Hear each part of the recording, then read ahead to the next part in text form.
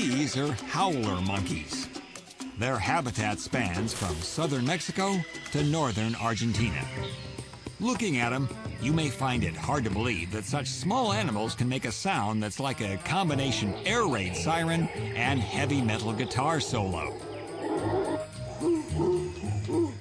The fact is, howler monkeys are considered to be among the loudest animals on Earth. Well, you be the judge.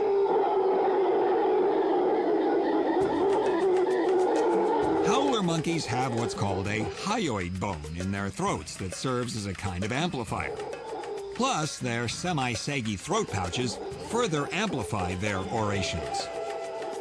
Why do they howl like this? Only the males howl. They probably do it to let other howlers know where they are.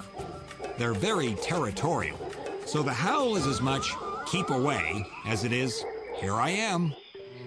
Howlers live in the canopies of trees, feasting on leaves, flowers, buds, and fruits. They have long prehensile tails that are used as a kind of fifth hand to help them identify things.